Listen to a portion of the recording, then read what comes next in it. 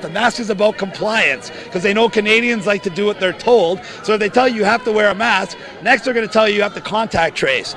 Then they're going to tell you you have to take the vaccine. And because Canadians like to do what they're told, they're hoping that everyone just complies. And then guess what, kids? Once you take your vaccine, like a dumb person that doesn't know any better, they're going to tell you, sorry, the vaccine isn't as effective as we thought it was going to be. So now you still got to wear your mask, still got to get contact trace, still have all the restrictions and social distancing, and still take your vaccine. And then what did you get out of all of this?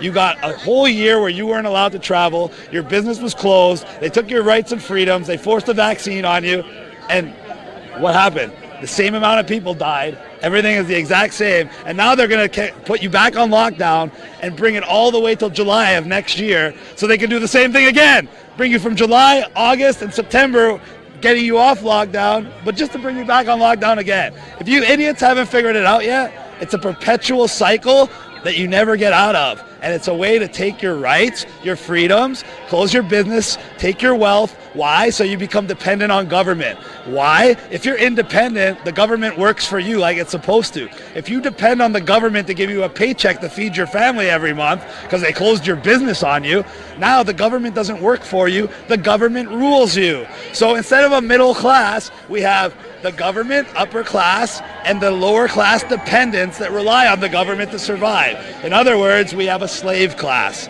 And that's what they're trying to do.